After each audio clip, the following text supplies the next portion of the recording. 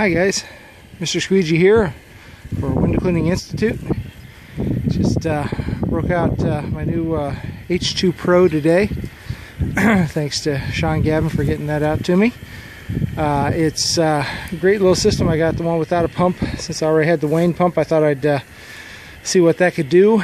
And here at this house, I was doing 40 with just the tap pressure, 40 psi, when it was coming into the system. And uh, with my other system, I was uh, losing some pressure. It had multiple ROs. I really think the single RO is uh, a little a little better for for building pressure because uh, this pump is rated to boost your incoming tap pressure by about uh, 40 psi. Now with the other system, if I had 40 40 psi tap pressure, uh, I'd be getting probably on the system I could do 65, maybe 70 uh, depending, uh, which uh, the ROs are designed to run efficiently a little better than that.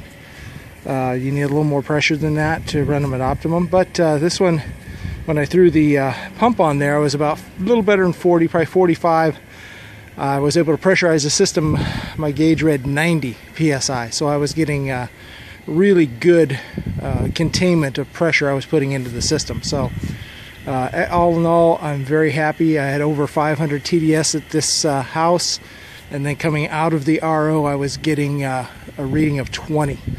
So, cold water tends to drop your uh, RO efficiency, but here I was getting really good efficiency. So, very happy. Nice sized uh, carbon filter, great size DI. I'm not to have to be changing that thing out all the time uh, like I would on a smaller system. So, all in all, I, I may invest in a, a larger on-demand pump, but uh, extremely happy with it. Performed really well today. So uh, shout out to Sean Gavin at Reach Higher Ground, and uh, that's my thoughts on the H2 Pro, guys. See you on the forum.